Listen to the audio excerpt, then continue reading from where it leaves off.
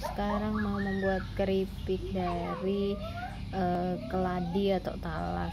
Ini sudah dipotong tipis-tipis lalu kita akan cuci menggunakan air garam agar tidak ada lendirnya. Ini sudah ditaruh garam kita remas-remas merata. Setelah itu nanti kita cuci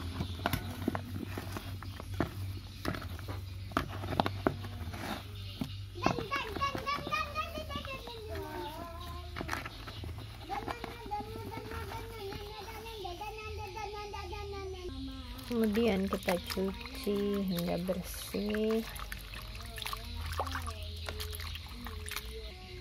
Sekarang cuci lagi untuk yang kedua.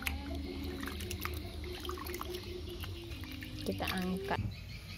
Sekarang kita masukkan talas yang sudah dicuci bersih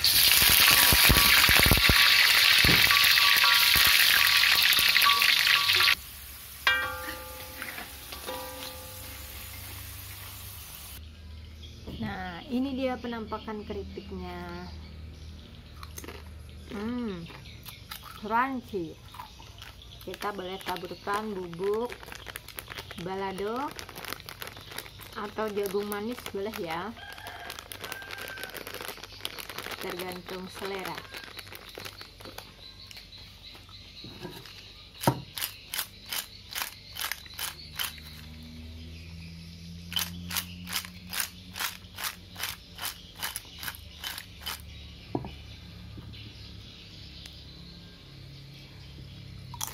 Hmm.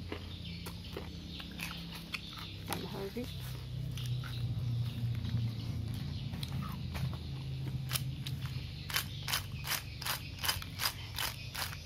Ini masih ada yang ketebalan tadi ya, karena motongnya pakai pisau.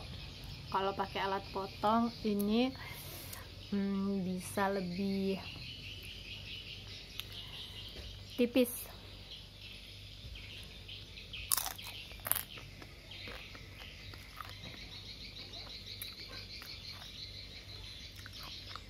Tapi yang enggak tipis juga enak empuk rasanya.